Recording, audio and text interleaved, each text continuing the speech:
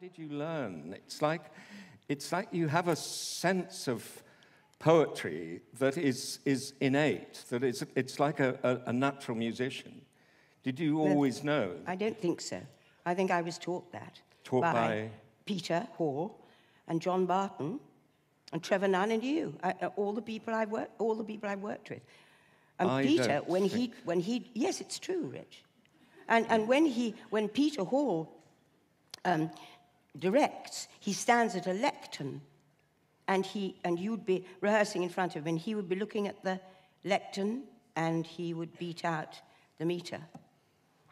I have to tell you, can I tell you a very quick story about Antony and Cleopatra? When he was trying to get the meter of her death right with um, Miranda Richardson and Helen Fitzgerald, and he, and he was trying to say, uh, Oh, alas, alas, our noble lady's dead.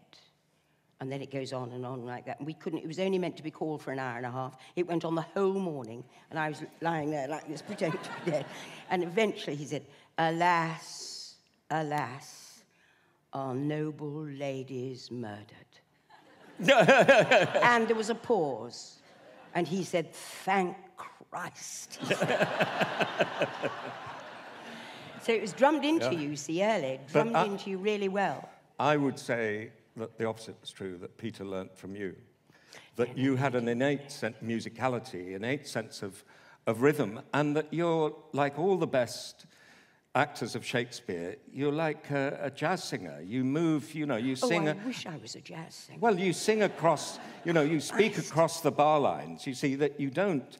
Uh, somebody who can't sing jazz sing, uh, uh, whereas you're all, over, and yet you finish within the phrase. It's just the phrasing within the sort of eight-bar figure is is all your own. And Well, Sir John used to do that, didn't he? Sir John used to present the whole thing as an arc. I used, I've often said to young students, uh, what you, if you want to speak Shakespeare and learn about us making a speech, you should listen to John Gielgud and Frank Sinatra, because Frank Sinatra presents you with the entire song. There's no spending too long on the beat, you know. And also, if you look at and you Yeah. learn in the script, you know that where you must obey the the um, what's that word called? well, line endings. Yes, So- line endings. You know, if you get a half line, when you see the script and you get a half line, and then the next person starts with another half line, that is all one line.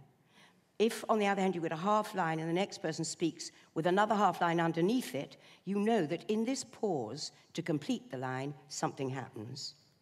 And, and it's absolutely invariable. It that is. rule. A- uh, And it's so simple.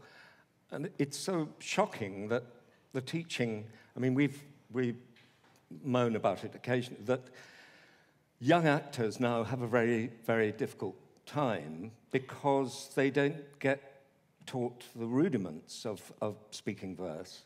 And so they try and pull it around and make it naturalistic and not see that actually you can just be truthful and naturalistic as you can with a song within a specific time signature. You can be much more colloquial and naturalistic if you obey what he tells you, and you also will never run out of breath Yes. because he gives you a place to take the breath.